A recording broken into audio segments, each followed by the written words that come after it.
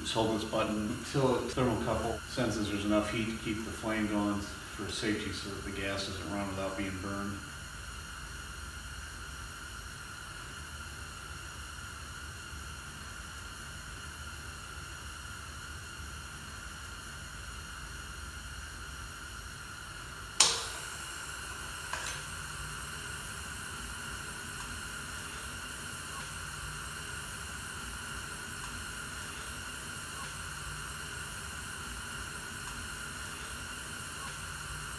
Gives you a radiant heat, so you feel it on you, and it warms up the whole garage.